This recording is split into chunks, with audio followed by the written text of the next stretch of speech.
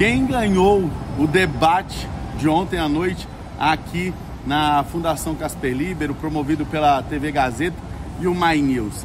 Agora a gente vai dar a nossa opinião, a nossa visão de quem estava lá nos bastidores. Eu também quero saber a sua opinião.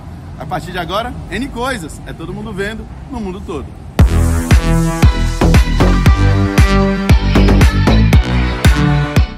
Oi, gente, tudo bem? Hoje o N Coisas vai ser aqui direto da escadaria da TV Gazeta, né, da, do prédio da Fundação Casper Libero, onde ontem à noite aconteceu o debate promovido pelo canal My News e pela TV Gazeta, né, para todo o Brasil, para todo mundo através da internet, né? Cinco candidatos estiveram presentes: Guilherme Boulos, Pablo Marçal, Tabata Amaral, Datena e o prefeito, o atual prefeito, candidato à reeleição, Ricardo Nunes. E eu estive presente ontem né, na, nos bastidores lá.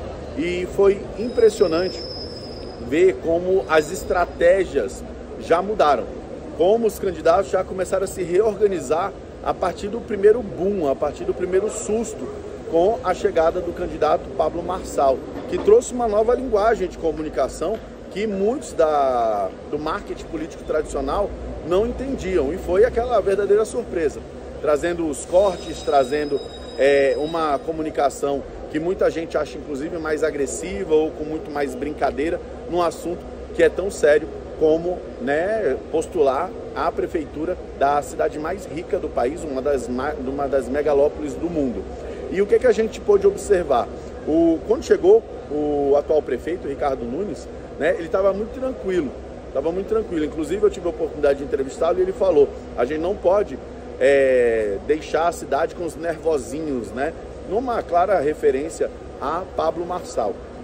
Quando Pablo chegou, já foi um outro momento. Ele já trouxe uma aura de mistério. Ele apontava, né, fazia o seu característico M e apontava para o anel. Inclusive eu achei que ele fosse falar alguma coisa a respeito disso, mas não. Era puro, né? Puro mise-en-scène ali para chamar atenção, que é uma característica da sua campanha. Tabata Amaral não fugiu ao seu estilo, né? Trazendo uma opinião concisa também, chegou muito objetiva, falou pouco, mas sempre quando falava, falava inclusive sobre Pablo Marçal e sua suposta conexão com o PCC e que ela tinha coragem de desafiá-lo, tinha coragem de debater com ele e que ele inclusive não teria coragem de perguntar para ela ou de confrontá-la, né? Da Atena, ele já veio com uma outra pegada, talvez muito chateado pela sua performance nos debates anteriores. Ele chegou, inclusive, bem humorado, mas saiu muito chateado.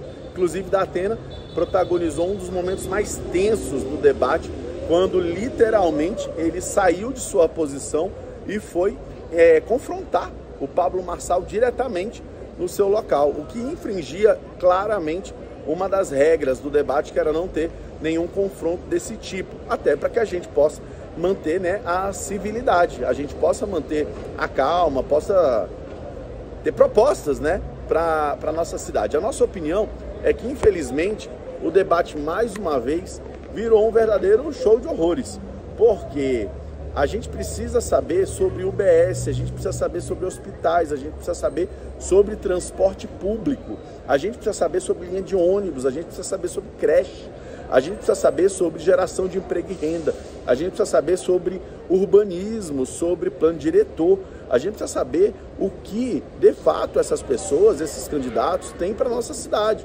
Porque, em última análise, né, é a cidade que sofre. São milhões de pessoas, milhões de brasileiros, milhões de pessoas que moram em São Paulo que vão sofrer das decisões ou não decisões do eleito. E é muito importante que a gente saiba com quem a gente está lidando, quem são, né, quais são essas propostas. E mais uma vez a gente teve um debate com muito pouca proposta, muitos ataques pessoais, muita briga, né, muitas acusações e infelizmente com os debates é, com as propostas do lado de fora. Enquanto eu estou falando, eu queria muito saber a sua opinião. Quem você acha que ganhou o debate? Conta pra gente qual a sua opinião da noite de ontem e a gente vai construindo, eu vou conversando com vocês lá embaixo também. Para concluir, né? Para concluir, a gente teve até uma piada, né, que quem ganhou o debate foi o direito de resposta. Por quê? Porque todo mundo pedia. Mas eu quero dar um parabéns especial à turma da TV Gazeta, a turma do My News, a mediadora Denise, que teve um papel quase que de professora para a quinta série, né? Pedindo para as pessoas ficarem em silêncio enquanto o outro falava e pedindo ordem, gente, coisa que era para ser desnecessária com adultos na mesa e a essa altura do campeonato. Mas Denise realmente deu um show de profissionalismo, né? Chegou realmente a controlar uma situação muito complexa, né? Para não dizer, para dizer o mínimo, muito complexa.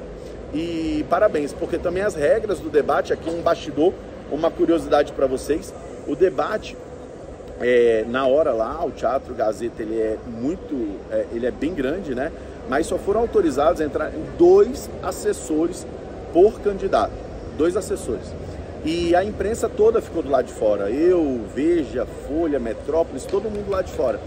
Justamente para evitar claque, evitar qualquer é, coisa que gerasse uma desordem. Por incrível que pareça, num primeiro momento foi um grande estranhamento, mas foi um ganho, porque deu pelo menos para controlar uma parte da plateia ali no momento, até porque não tinha plateia a não ser os respectivos assessores, né?